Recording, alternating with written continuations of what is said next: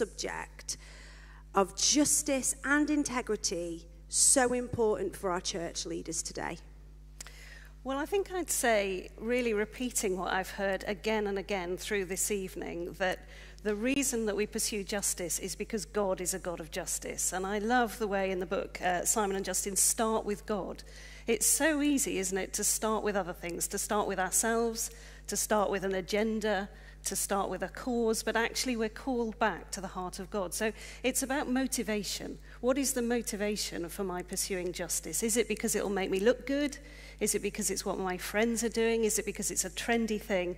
Or is it because I serve a God who calls me to uh, echo his justice in the world? So somebody once said that we're a very mixed bag of motivations. The, the dividing line between good and evil is not between people, it's within people. So it's thinking, how do I allow God to redeem every part of me so I reflect Him in the world? Amazing. How about you, Paul? Well, uh, church leaders have power because we're given responsibility mm. and we're given trust by people. And we see so many examples of where power is misused and it goes horribly wrong. Mm-hmm.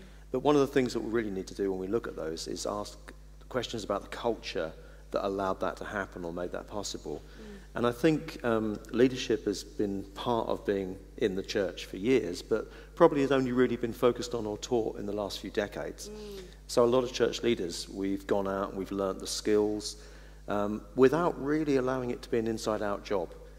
That, uh, one of the things I loved about the book is it really takes us into the soul of leadership. That this, as Emma was saying, it, it, begins with God and then it comes out of our relationship with God so that we can actually express a leadership that's not going to be um, abusive or even just a degree or two off what it mm-hmm. should be. Mm-hmm. Amazing.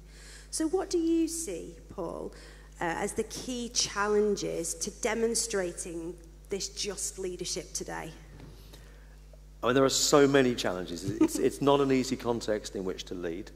Um, and I think one of the things about our society is that um, the culture that we live in uh, celebrates significance and it celebrates a certain type of success. Mm. And because we're human beings, so often formed more by the culture than we are by our relationship with God, mm. we long for that as leaders. Mm. So, it, it, looking at the dark side of our soul, the desire to be noticed, the desire, desire to be seen, so often what happens is that as leaders, we we use people to build platforms and ministries rather than build ministries and platforms to build people. Mm. Um, you know, we need to be always um, expressing the love of God for others. Yeah. And I loved what I had in the book and, and what we heard from the, the uh, episode that we just watched mm-hmm. about generous leadership, yeah. the, the, giving away of your power, the preferring of others. Mm. How about you, Bishop Emma? I wonder if one of the real challenges that we have to face, possibly in the church most of all, is what to do with our failures and what to do when we've got it wrong, because we have got it wrong spectacularly as a church throughout history. And I think we're learning how to be more honest, um, how to say sorry, how to say we want to learn, we want to listen. There's a great phrase in the book that is, Are you prepared to ruthlessly listen? Am I prepared to sit with the people who've been victims of abuse, uh, people who've been at the wrong end of injustice, and ruthlessly listen to their perspective and what they say in order that I may learn and be changed? So I think that's one of the real challenges because that's a difficult place to be. Mm. And the temptation is to make our excuses and leave. Mm. But actually, that's the space that God calls us to be in, to face up to where we've got it wrong and to allow His redemption to come in. Yeah. So, lastly, how might we all play our part in making just leadership a reality across the church? I think probably the clue in what you've just said is all, hmm. because we can't change the world on our own, yeah. And we certainly can't address uh, abusive systems on our own. We need each other. Mm -hmm. We need, so whether you're the leader of your home group or whether you're the Archbishop of Canterbury, uh, we need each other to, mm. to make change in God's world. So we must do this together. I love the way the, the book is really practical. It mm -hmm. gives mm-hmm. you some really practical pointers at the end of each chapter. Yeah. So one of the things for me is being challenged about a culture of deference. And, you know, where as, am I as a bishop? You know, bishops like to dress up in fancy clothes and do all sorts of weird things. So how day by day do I challenge that culture that puts one person over another? And I think the other thing is to pray. Uh, just pray that God would uh, break our hearts for the things that break his heart so that we'd be following where he wants to lead us. Fantastic. Well, thank you so much for joining us. And please stay where you are because we are now going to have a Q&A panel join us on stage. And um, this is where your questions uh, can be answered. So I'm going to shift along. Give them a round of applause as they uh, come up to the stage.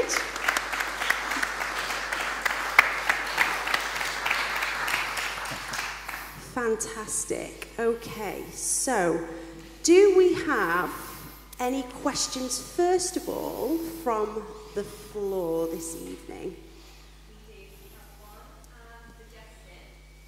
Um, in chapter 4, you tell an amusing story about your wife and an incident in a pub. what would you do differently with hindsight? You may have to explain the story for those that haven't got that far yet. Yeah, uh, can I just say, I distinctly feel that I've been set up here. um, well, look, um, what would I learn? Um, clearly, my, my perception of, uh, of events was, was different to that of my, my wonderful wife. Um, and in, in fairness, uh, my reflections in the book are um, that, that I probably was too quick to get myself out of a tricky situation. And I should have thought more about those that I was with. We talked a lot about togetherness already this evening. Um, so, look, um, just for my wife's benefit, um, I got it wrong. Fantastic. Any more from the floor, Joe? We have one here. How does this book directly address dealing with being the receipt of injustice and leadership? Anybody want to answer that? I think the author should have first dibs. Simon? So I think um, i- if I understand the question right, it's kind of, you know, if you're the, in the receipt of injustice, then how do you respond and how can you um, uh, respond in that situation? And I think um, there's a role for all of us as leaders to create the environments where it's easy for people to come forward and to be believed. So I think a really important part of just leadership is actually when someone comes and tells you that they've been the recipient of injustice, your default behavior should be to believe them. Hmm. And that has not always been the case, sadly, for us. There are far too many situations where people have actually got the courage, and in fact, we talked to one person in, in episode four on, on the series who was a, a survivor of church abuse, who, who got the courage to, to, to stand up and say, I've been abused in this church, and she wasn't believed. And that just compounds the injustice for people. So the big challenge for us is how do we create those environments where people can come forward, they can say what's happening to them, and our default position is to believe them and to listen to them and to hear them um, first. And I think that's a massive challenge for us. Thank you. Any more, Joe? We have one from Mandy Marshall, who has been so far on the tube and on the bus while she's been following the event tonight.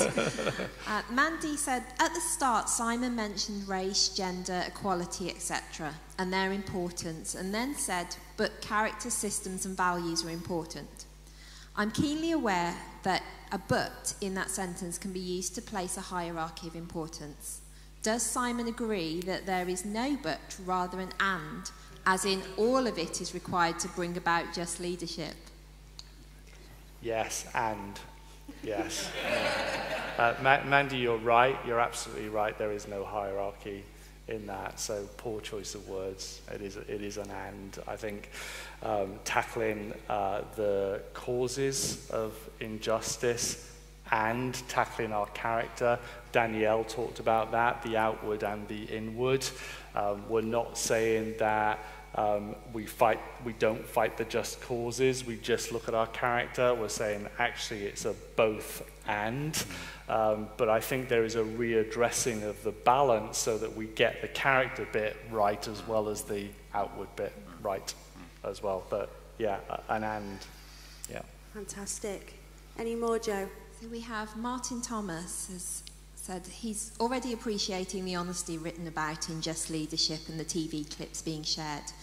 Could the panel unpack how they balance the desire to be open and vulnerable leaders whilst also being wise, especially in protecting themselves and their families?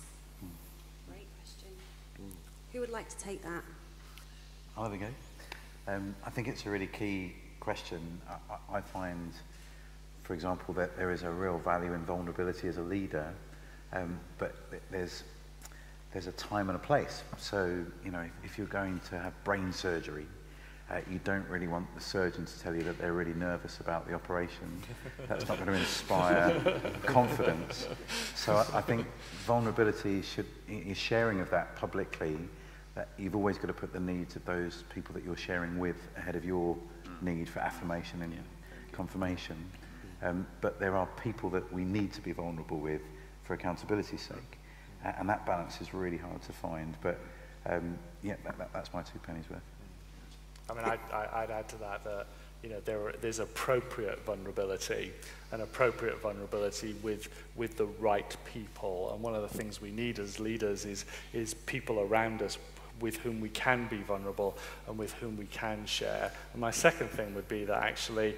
Um, that never share in public something that you haven't processed privately. So again, we think vulnerability is, you know, maybe getting up on a stage and talking about something you're going through. Well, actually, that's inappropriate vulnerability. It's the processing privately that gets you to a place to be able to say, this is impacting me, it's impacting my family, and I think sometimes we get that mm. wrong as well. Yeah. Any more, Joe? We've got a question from Rick, who's um, joining us from Pittsburgh tonight. And he asks, what are some specific suggestions for practically revealing and then dealing with injustice in our hearts? well, if, if, the question is in our own hearts, then I, I think um, it's being willing to ask the hard questions of ourselves. Mm. Um, and sometimes the best way of doing that, in my experience, is to um, let other people ask those questions to us um, which is really challenging because uh, all the time we have, a, we have a mask that we wear, not just to present to others, but actually to present to ourselves. Um, and finding a place where you're safe enough to take that mask off and let people question the deep things in our hearts is really important. Um, so I think um, looking at that shadow, uh, and then, as Emma said earlier, ruthlessly listening to what others might be saying, um, to what God is saying to us above everything else and saying, what's the truth in that? You know, where is, where, where's there something that I want to defend myself against? I think one of, one of the things that, we, that I think are, is really important is, is thinking about values.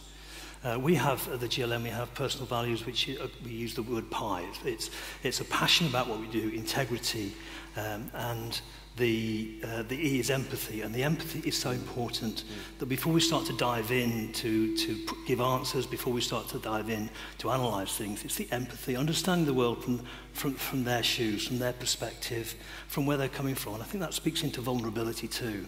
That if we can understand when people come, if, if somebody comes to me and says, that's a silly idea, well, I, I want to understand why they think it's a silly idea rather than saying, well, you're an idiot for calling it a silly idea. We need to start to engage with people rather than just confronting with people, I think. Great. Anyone else want to add to that? I think just to say maybe that it's about, I really like, like the way in the book it talks about understanding your own story because I think it's only when you, and you talked about your story very powerfully in the video, it's only when you begin to unpack that and think, well, where was God in that story, that you can understand your motivations, you know, the, the, good, the good ones and the bad ones, and sift those and allow the Holy Spirit to come and shine light on that. So we shouldn't be afraid to, to look at our own story and see what result it has today. I, I, I've said a number of times, I think, on, on interviews the last couple of weeks, that if someone was to give me a million pounds, and if there's anybody out there who'd like to do that, then I'll give you my details later. Um, I'd spend it in giving therapy to anyone who wanted to become a vicar, a church leader, or a CEO um, before they started. Yeah. Because actually, there's a sense of, of dealing with our shadow. And for me, it was rejection.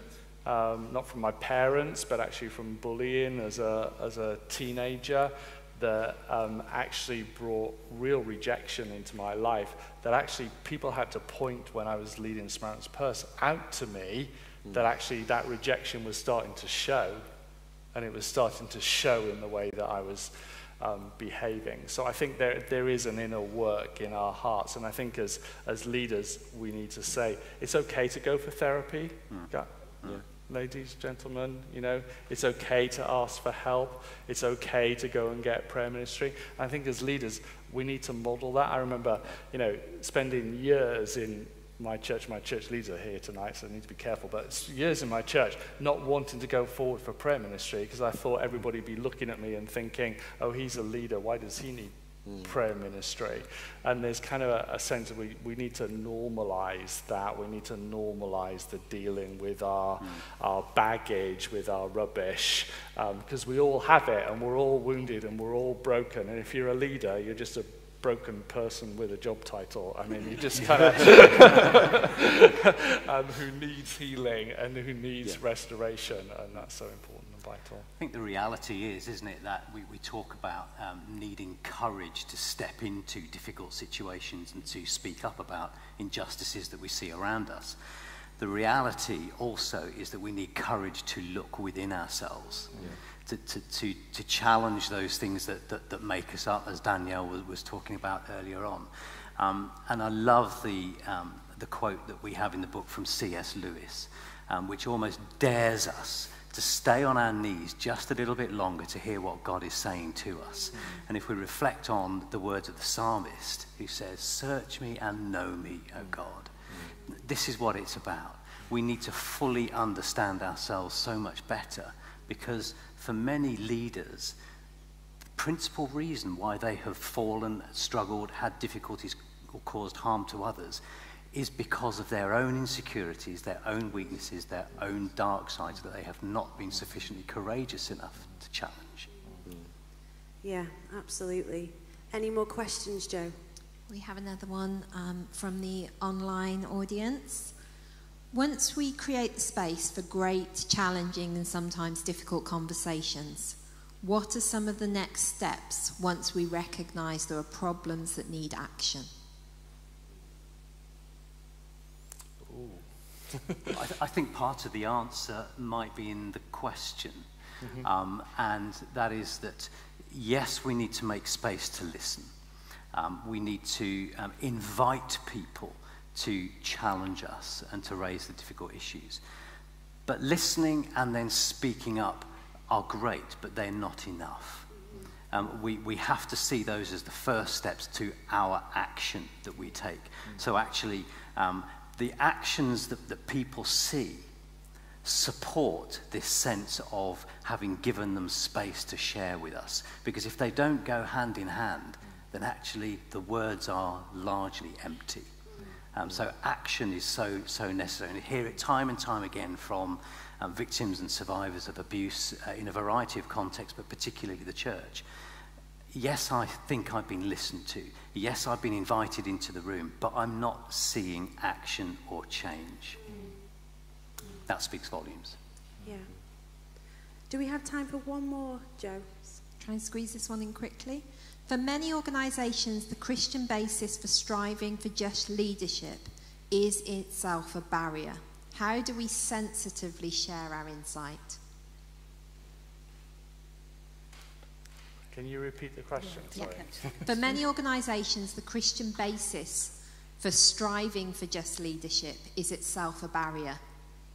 How do we sensitively share our insight? Let's have a go. Sounds like that's a great question. Answers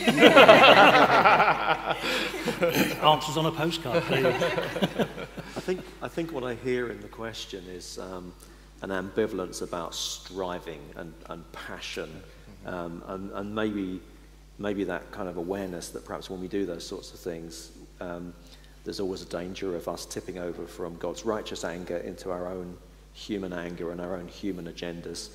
Um, but I, I would say that we just have to go for it. You know, so often the enemy stops us from doing what we should do because he makes us think that we might not be doing it with 100% purity. Mm. And the truth is, as far as we can bow an, uh, ourselves before God and say, Lord, make me pure, we're never actually going to be pure in this life. Yeah. So if we catch something at the heart of God, he only has imperfect tools to, lo- to use. I think we should go for it. Mm. Yeah, and it kind of kind of resonates with what Danielle was saying about uh, humility being a, a right understanding of who we are, mm. a right understanding of ourselves, created in God's image, um, but having the humility, but also the courage to go for it mm. as well, recognizing that we're broken and not being, not procrastinating, but getting on and doing the change as well. Yeah. Fantastic. Well, thank you all so much for your wisdom this evening. You can take your seats now. Give them a round of applause. Apart from you, Roger.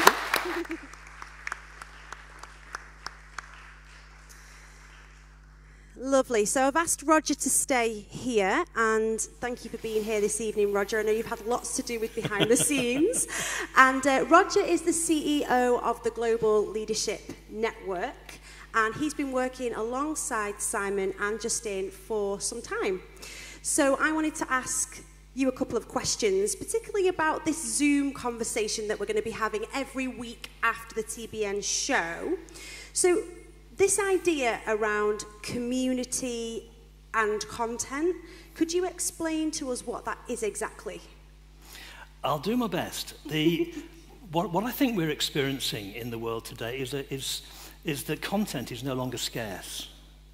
We can consume content, content from all over the place. It used to be 15, 20, 30 years ago, it was difficult to get hold of good content. Now there's loads of content, but what are you going to do about it? I think that's the key question, is that what are we going to do differently? Because of this content we've just consumed. So what we're really excited, I, am not sure whether this is a brilliant idea or a balmy idea, but uh, the, uh, what we're going to do is we're immediately after the, the, uh, the TBN event, we're going to have a live webinar where you can start to ask some questions, rather as we have tonight, of the authors and of the panelists to really say, what do you mean by that? And what do you mean about this other thing? And what we want to do is really we want to process this content together. So it's community around content. The content is, is brilliant. The, it's really timely and really, really important for our time. What are we going to do about it? That's what I want us to come out of the end of the webinar answering the question so what? So, what am I going to do differently because of what I've been listening to tonight? Think that's really key, really, really good idea. Um, so after, the, after every episode, there'll be an opportunity to get stuck in, to figure out what your action points are based on the episode you've just watched, and actually create some community around the TV series. Exactly that. Yeah, let, us con- let's consume the content together. Let's, let's ask Simon and, and Justin, what do they mean about this bit in the book? What do they mean about that bit in the book? Maybe some of the, some of the guests have brought out some ideas that we want to explore further. Yeah, incredible. Well, thank you so much for your involvement. And um, yeah, I hope that we can all kind of join that conversation with you and make, well, take some positive action based on what we've watched and what we've consumed. Brilliant. Thank Thanks, you. Roger. Thank you. All right. So now I'm going to welcome to the stage Joe, who was feeding us those questions. Joe, can you join us? Give her a round of applause.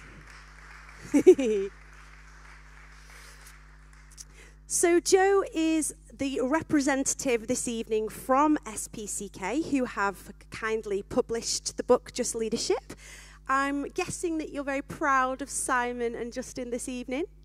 Absolutely. It's so amazing when you get to this day for uh, for the authors, for the publisher, for everybody involved.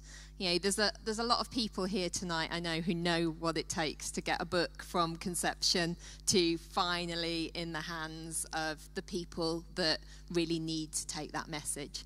And it's fantastic to be here. We weren't sure whether this would be real people in front of us or just all virtual when we started talking about it. But it's amazing for this day to come. Great stuff. So, why did you guys at SPCK decide that this was an important book for now? Well, I think there's been a lot said already this evening about the fact that you know there are messages out there that we have to listen to. You know, there are things that the church is saying, there are things that the communities that we're in are saying. And as a publisher, we listen, you know, we should be constantly listening to what is being said, what is being asked, and finding great content to support and help and answer those questions. And that's exactly what Just Leadership does. You know, right now, there are questions out there that churches, that individuals are asking. And this is a book and you can get it for nine pound tonight or two for 15 um, from the um, just after the event or one of the questions asked was can you get it digitally? Yes there is an ebook available as well if you want the digital copy um, and from all good bookshops as well. Lots of um, amazon have now got more stock um, but this is a book that answers that question. It's a book that church leaders and anybody who's involved in leadership needs to get hold of and read so we can build that fence I am a big Audible fan. Is it available on Audible? We do have an audiobook coming soon. yes. So, yes, you will be able to hear the guys do, you know, really do this justice as an audiobook. Fantastic. Okay, so you've heard it from Joe herself. We can get our copies tonight for £9, two for 15 Yeah, that's right. And signed copies are available yes, this there will evening. be a signing of any copies that are purchased tonight. Fantastic. Thank you so much, Joe. So, we are going to end this evening with a really lovely um, opportunity just to worship God. And we have uh, Pete and Nikki Sims from Skylark International who are going to lead us in their justice songs. I think that's very apt this evening. We're going to go out with a bang, we're going to worship God together. And uh, thank you so much, guys. When you're ready, you can take the stage.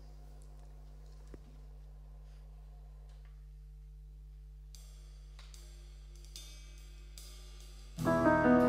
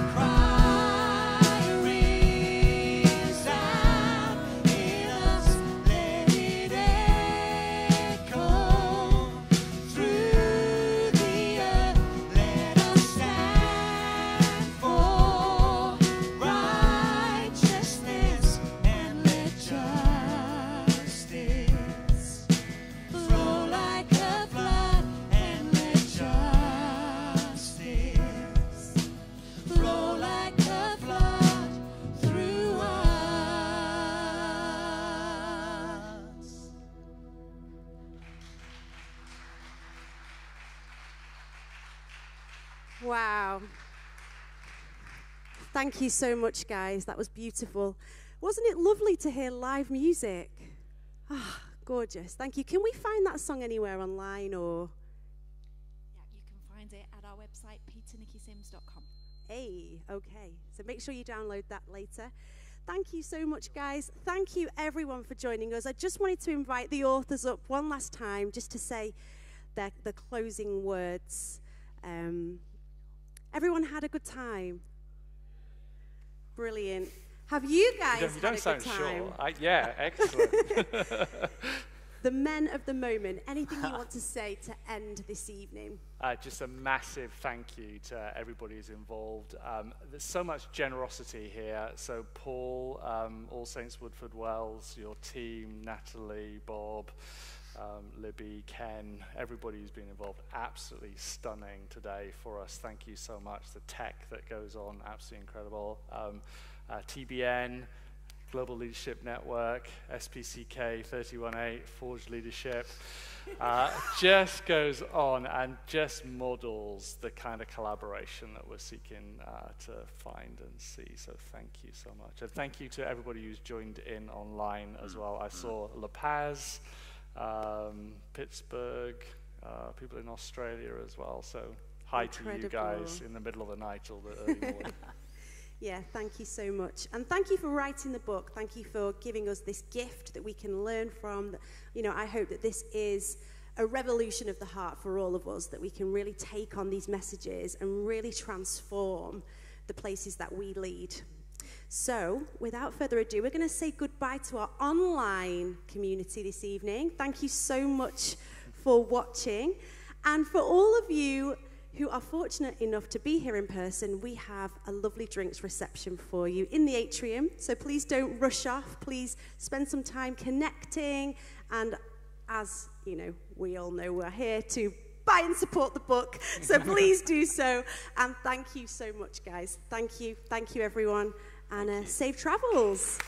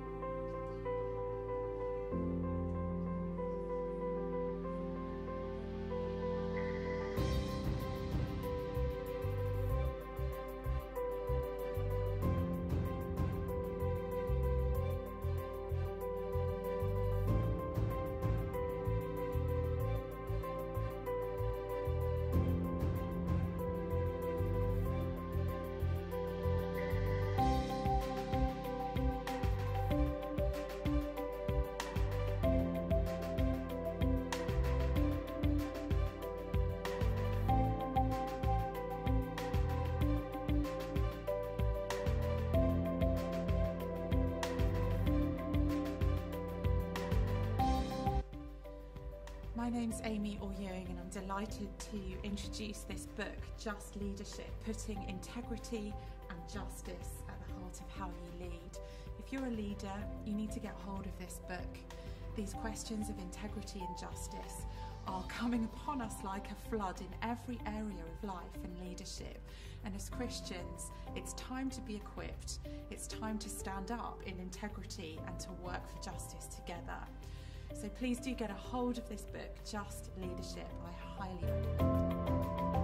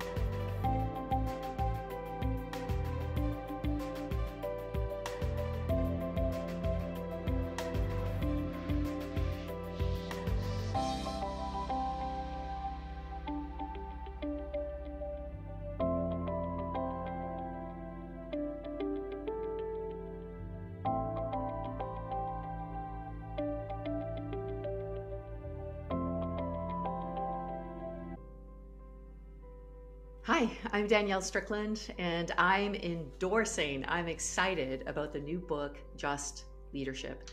Uh, it has come at just the right time for us to help it reimagine what it would look like to live out of fullness and in right relationship. What a difference we could make if we led like this. I highly recommend you the book, Just Leadership.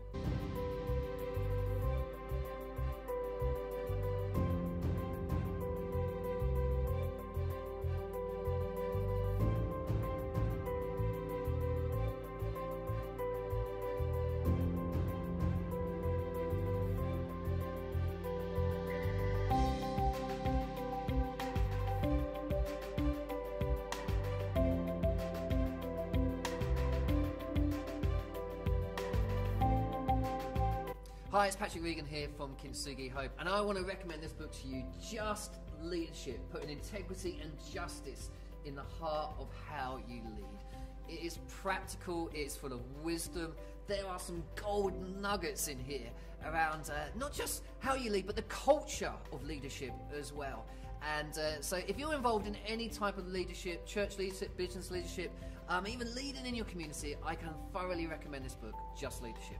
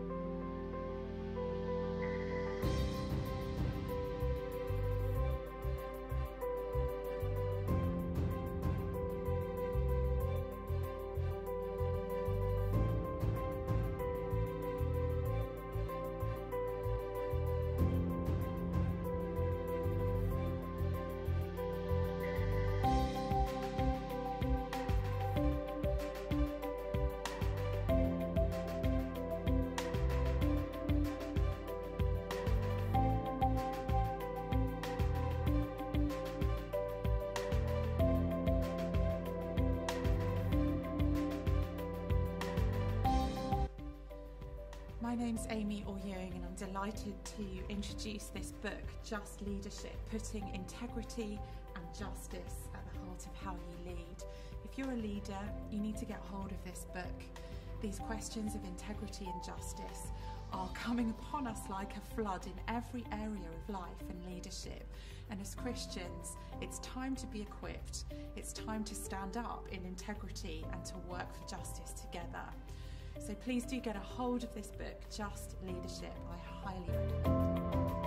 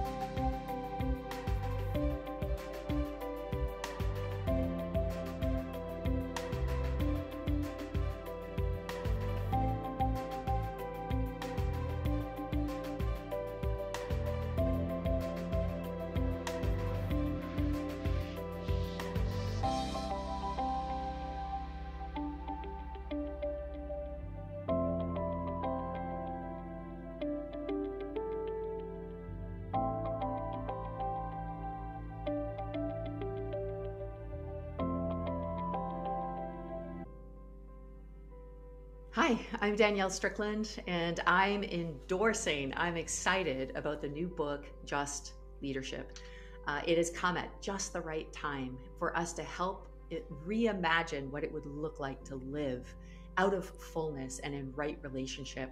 What a difference we could make if we led like this. I highly recommend you the book, Just Leadership.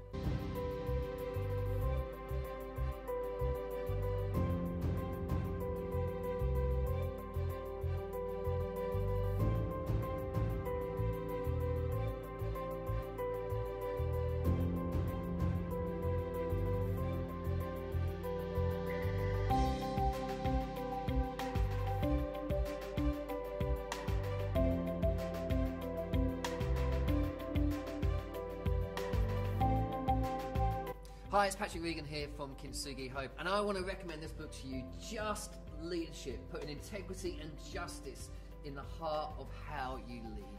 It is practical, it is full of wisdom. There are some gold nuggets in here around uh, not just how you lead, but the culture of leadership as well. And uh, so, if you're involved in any type of leadership, church leadership, business leadership, um, even leading in your community, I can thoroughly recommend this book, Just Leadership.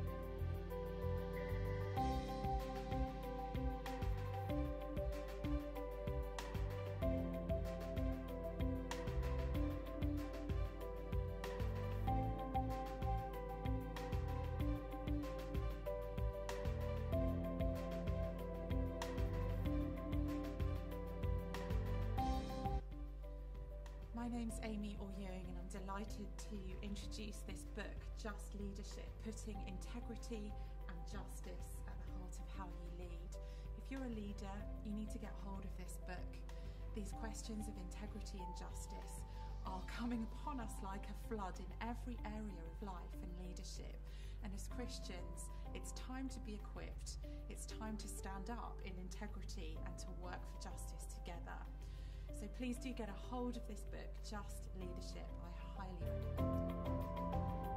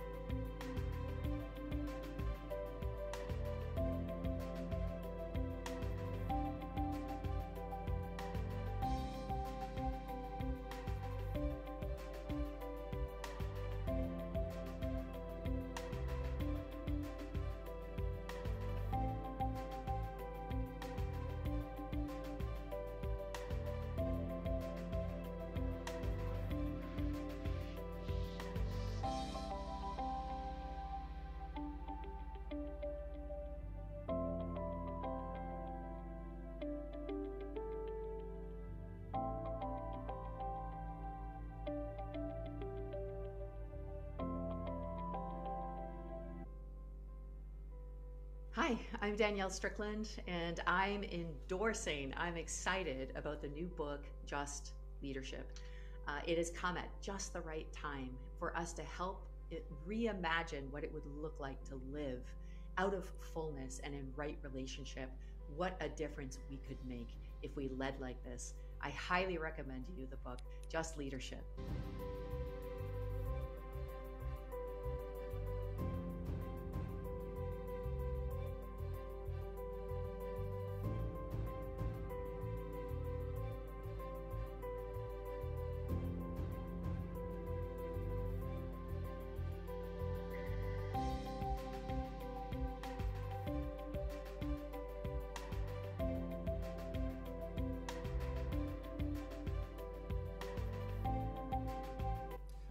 Regan here from Kintsugi Hope, and I want to recommend this book to you Just Leadership, putting integrity and justice in the heart of how you lead. It is practical, it's full of wisdom. There are some gold nuggets in here around uh, not just how you lead, but the culture of leadership as well. And uh, so, if you're involved in any type of leadership, church leadership, business leadership, um, even leading in your community, I can thoroughly recommend this book, Just Leadership.